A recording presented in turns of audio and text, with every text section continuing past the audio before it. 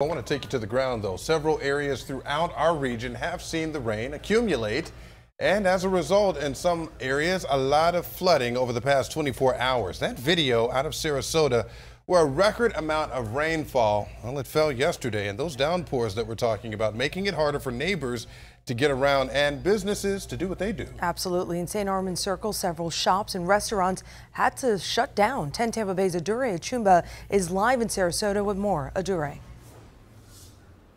those some of those business owners actually telling me they got up to three feet of water. But as you can see all around me, much of that flood water has receded and those roads that were closed have also reopened. And today the sun was out to help dry things up. But again, those business owners pretty much deja vu for them all over again because they had to deal with a similar situation just under a year ago. Back got flooded, the front got flooded. I wasn't able to get out my car because if I did, I would get stuck. Several business owners in downtown Sarasota and St. Armand Circle cleaning up after the flood. Between 5 to 10 inches of rain dumped on Sarasota in a three-hour span. As cars were driving by, there's nowhere for, you know, the excess water to go into, so it just starts coming up here and going up into the stores.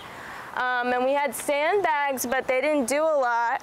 I had to install these thresholds, but there's a little bit of a gap underneath. So just that tiny bit, about that half inch, was enough for water and debris to get into the gallery. So uh, moving forward, we're gonna have to come up with a plan to kind of get a, a little bit of a better seal. Sarasota first responders had to rescue 34 people stranded in their vehicles and towed away 40 disabled vehicles between Tuesday night and this morning. We want yesterday to be a lesson, and if you don't see the ground, if the water looks like it's pretty deep, don't try it. Um, please also don't go around our barricades or officers that are blocking streets. A sidewalk near Philippi Creek collapsing from the sheer force of the runoff water.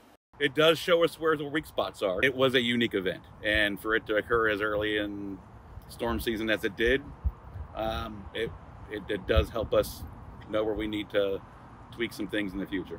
Officials now asking everyone to prepare and brace up for yet more rain in the forecast.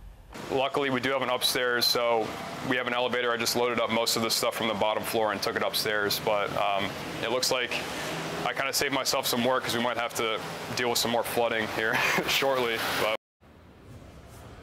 now, as you recall, after that last hurricane, uh, Sarasota County officials invested nearly $1 million to rehabilitate the pumping system here on St. Armand Circle. Now, they tell me that that system actually worked and did what it was supposed to do. However, a combination of high tide as well as all of that rain that came down, well, it all overwhelmed the system.